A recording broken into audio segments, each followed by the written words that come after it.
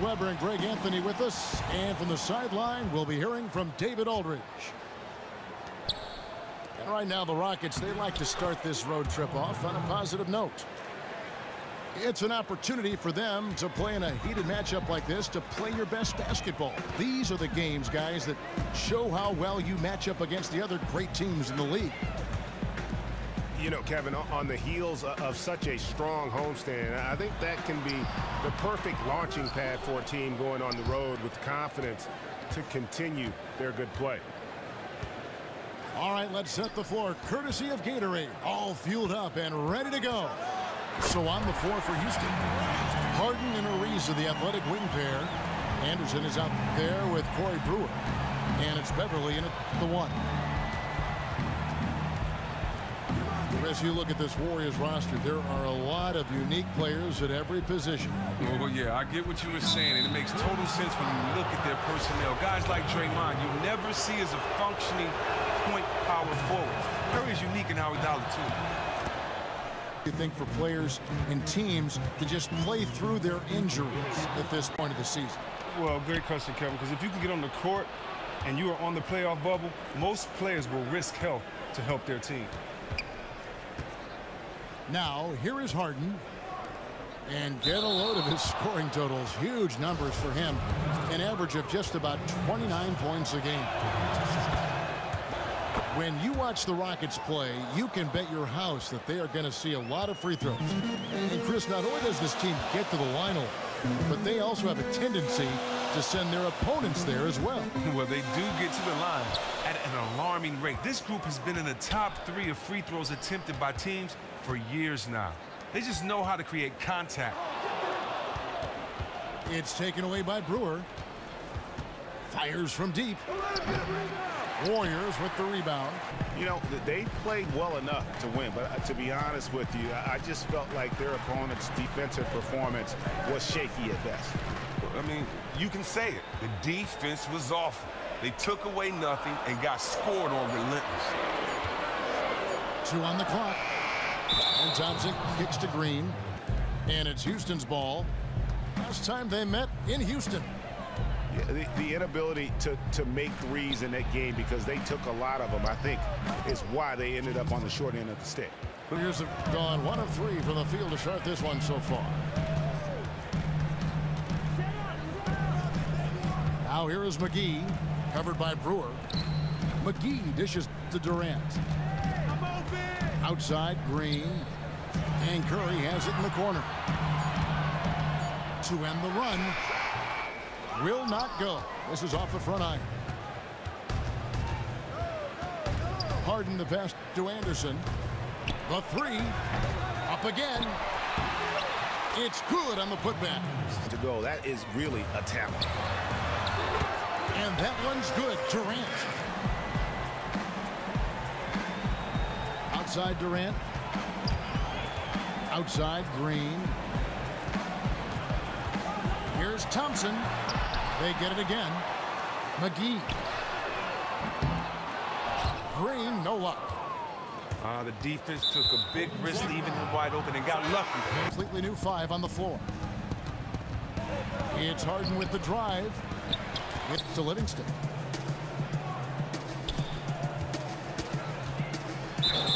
There's the whistle. Fouled hard on the shot. He'll go to the line. Look at this Rockets team. As impressive. Dekker with it. Working on Jones. Another miss by Houston. Here's Livingston.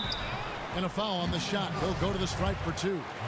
It's going to be on Montrezl Harrell. Nice work to get it in. And fourth free throw shots of the night.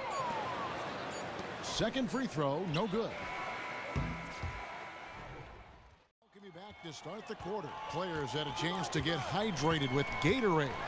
And there's certain to be some great basketball ahead for us. Let's quickly break down the game we've seen so far from the Rockets, guys. It's all about their defense. They have just done a terrific job of negating the timing and spacing of their opponent. Oh, yeah, great communication. The guys are quick and rotating help and, and playing with a lot of energy. Livingston is out there with Ian Clark. Then there's Iguodala. Then it's Jones. And it's Looney in the four-man position. That's the group for the Golden State Warriors to start the second quarter. Now here's Harden.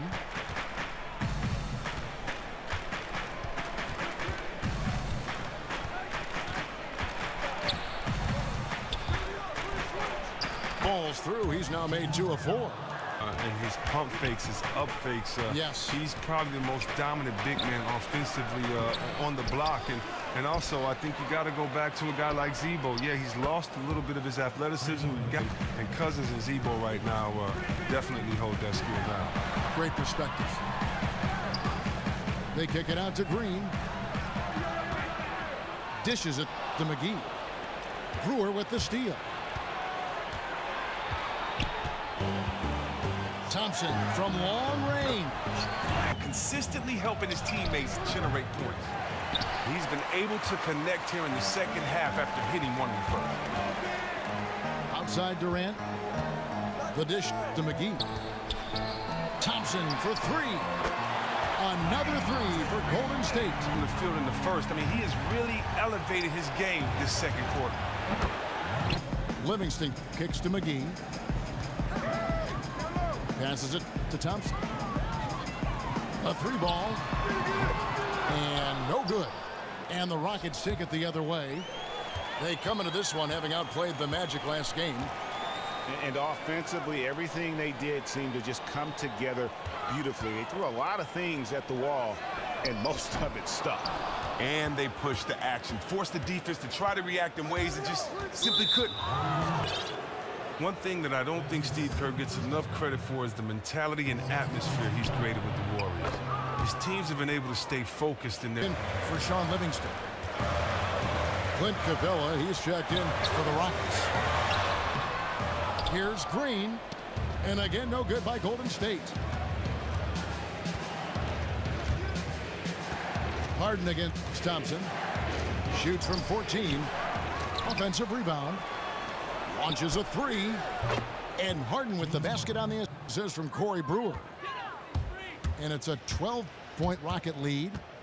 He's now hit two this quarter, and the D needs to really put the clamps on him moving forward.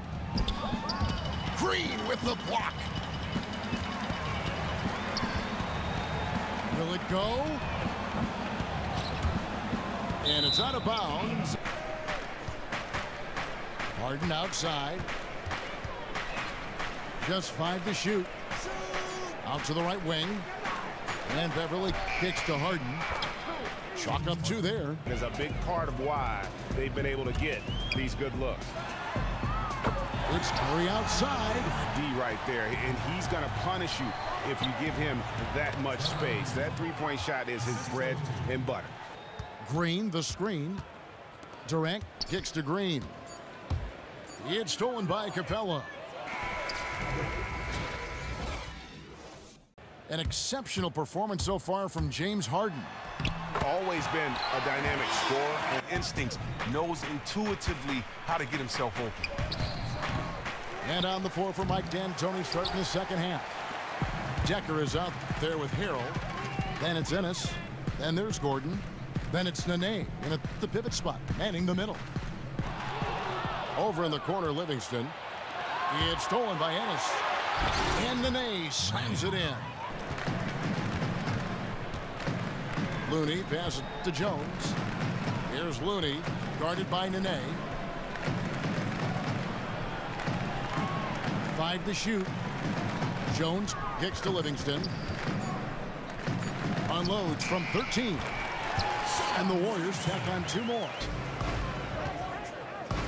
And the one thing you can't speak enough about, Chris, with this Warriors team is they are just an offensive team. They have one of the toughest defenses in the league, too. Can slow down one position. They have guys like Klay and Draymond who can guard multiple positions. That means you can switch. The versatility allows them to match up with anyone while throwing out their small ball lineups. And Green has a big mouth. Klay Thompson said he talks to us, himself, the coach, the other bench. But Andre Iguodala had the cap the fellas. He said if you're having a con Houston a whole new five on the floor. Here's Jones. No good that time. And Houston the other way now. And Anderson has it in the corner. It's good. The assist that time from Harden. I love the ball movement there. He put that on a silver platter. Just served him up. Here's Harden. And Jones pulls it down. Total breakdown on defense there, but fortunately he missed that one. Clark kicks to Iguodala. And it's good. Up through contact, hits the shot. He'll go to the free throw line. Yeah, exceptional play there to take the bump and still get it to fall. First trip to the free throw line for decades and still currently in today's NBA. What is it like going through a microfracture procedure?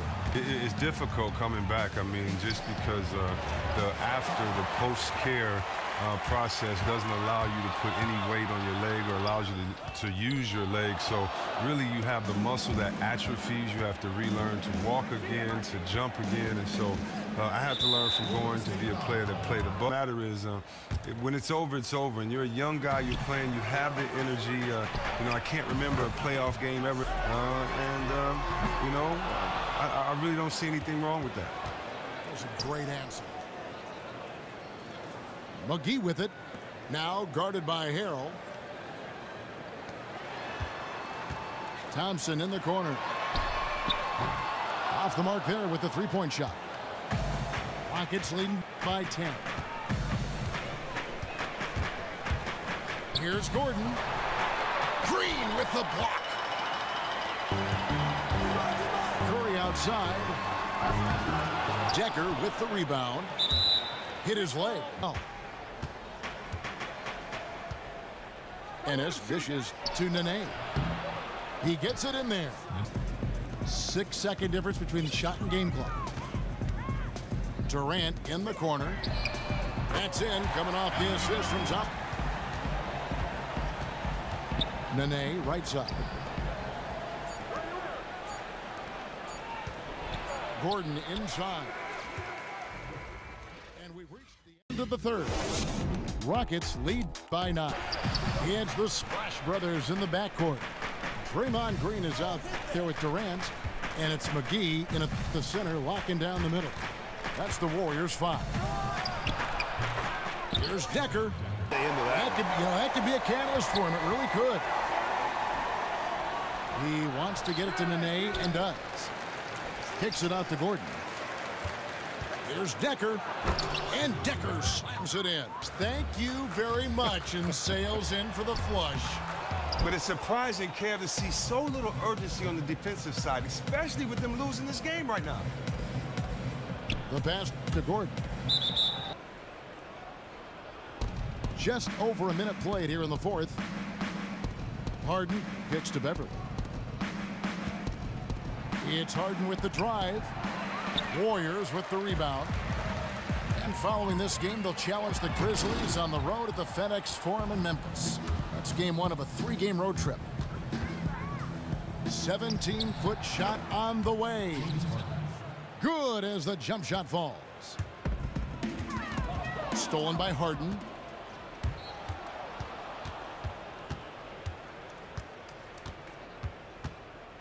And there's the call on Klay Thompson.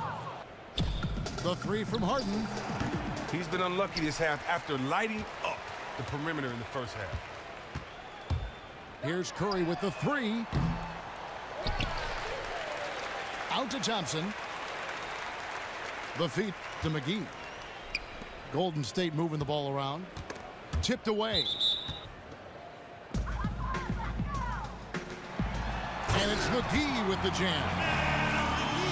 Clearly, he's one of the best there is in the business when it comes to making that lead pass. Here's Harden.